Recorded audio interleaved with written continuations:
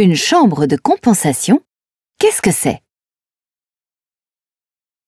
Une chambre de compensation, ou contrepartie centrale, est une entité privée qui s'interpose entre acheteurs et vendeurs d'instruments financiers comme des titres financiers. Elle garantit le bon dénouement en toutes circonstances des transactions. Pour être protégé par une chambre de compensation, il faut être un établissement financier et en être membre. Une chambre de compensation fonctionne selon deux mécanismes. La compensation, née au XVIe siècle à Venise, elle permet de déterminer pour chaque membre le solde quotidien d'instruments financiers et d'argent à livrer ou à recevoir en fonction de l'ensemble des transactions qu'il a effectuées dans la journée. La compensation permet d'éviter la multiplication des flux et les erreurs.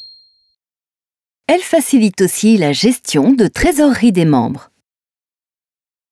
La novation, créée au XIXe siècle, par laquelle une chambre de compensation devient l'acheteur de tous les vendeurs et le vendeur de tous les acheteurs.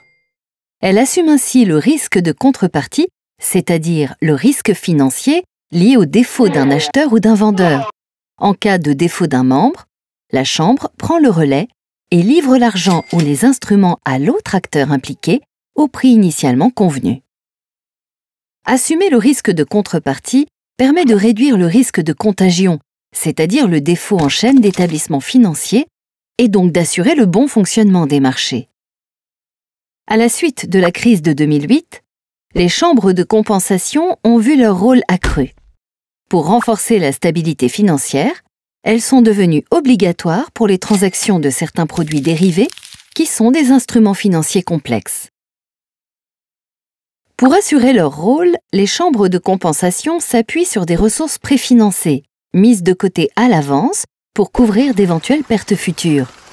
Des initiales, somme d'argent versée par chaque membre, assimilable à un dépôt de garantie, une part minimale de leurs capitaux propres dédiée à la couverture des pertes en cas de défaut d'un membre, un fonds de défaut alimenté par l'ensemble des membres et mutualisé.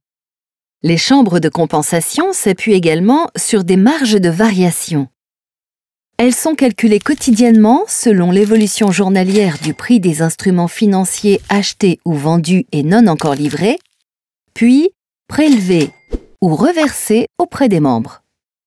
Elles minimisent ainsi le risque de contrepartie en comptabilisant les pertes au fil de l'eau plutôt qu'au moment de la livraison. Les chambres de compensation participent à la stabilité du système financier et font dès lors l'objet d'une surveillance spécifique pour s'assurer de leur propre solidité financière. Pour aller plus loin, rendez-vous sur le site ABC de l'économie. Vous y trouverez des fiches pédagogiques, d'autres vidéos et des jeux.